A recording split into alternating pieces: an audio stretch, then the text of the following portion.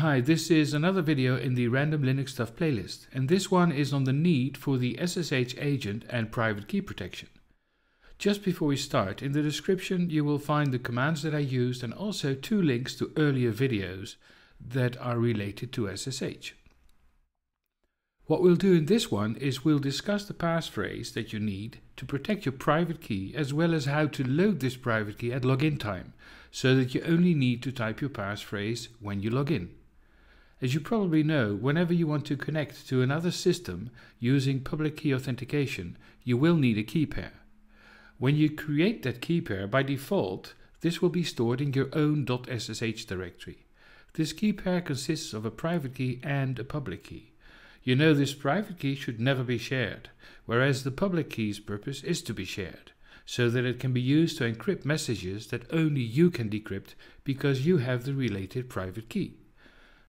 Next to that, it can also be used to let you log into another system without a password because your key will be saved in the authorized underscore keys file on the destination system.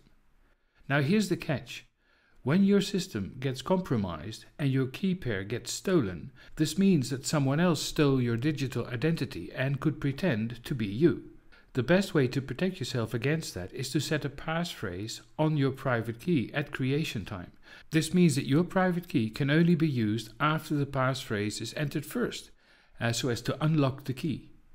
The disadvantage of that is that whenever you want to connect to another system and your private key is needed, you'll have to type the passphrase yourself as well, which is secure but also annoying.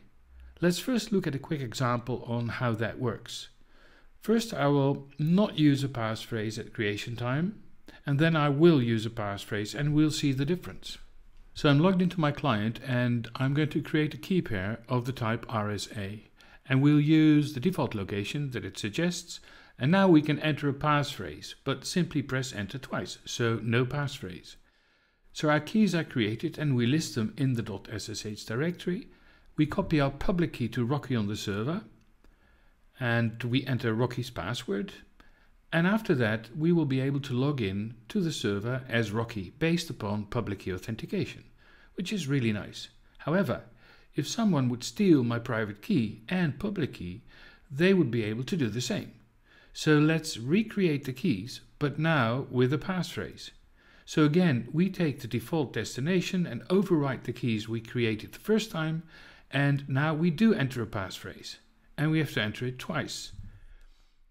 And again, I have to run SSH copy ID to get my public key on the server, and after that I can connect again using public key authentication. But this time it will ask me for my passphrase. So I enter the passphrase and log into the server.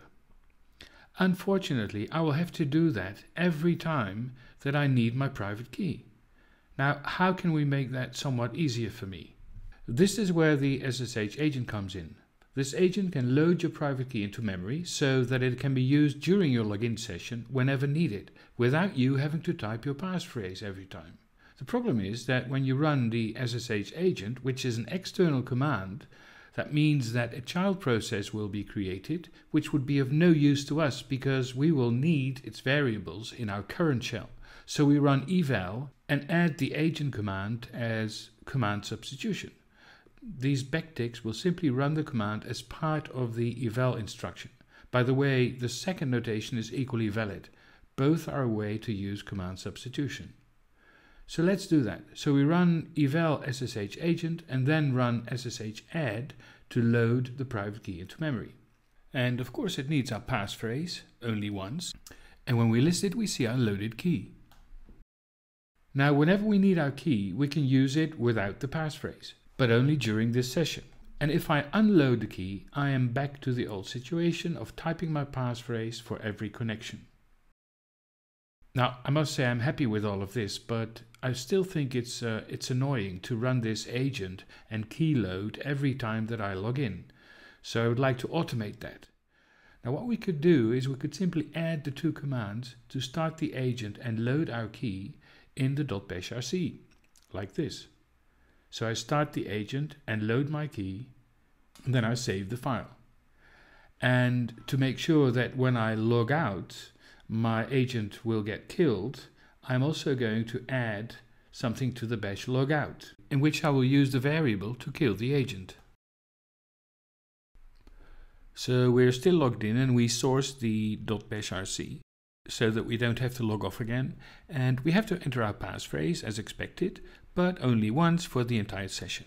I check the PID which is 1627 and then I log off and then I log in again. I have to type the password and the passphrase only once and now my new agent will have loaded the key.